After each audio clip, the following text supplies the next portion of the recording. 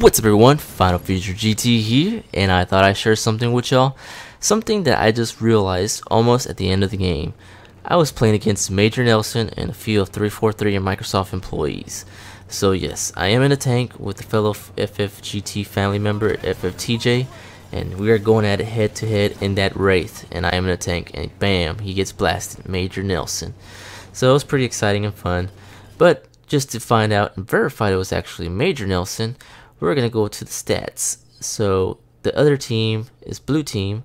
So let's see where he's at. And there he goes there, Major Nelson.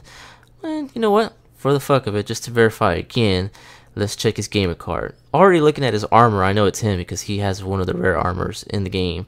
So we're just gonna go view his profile, and bam, there goes his badges below. That is truly the Major Nelson Larry Hryb gets pwned by us in the tank. Thank you for watching. Enjoy FFGT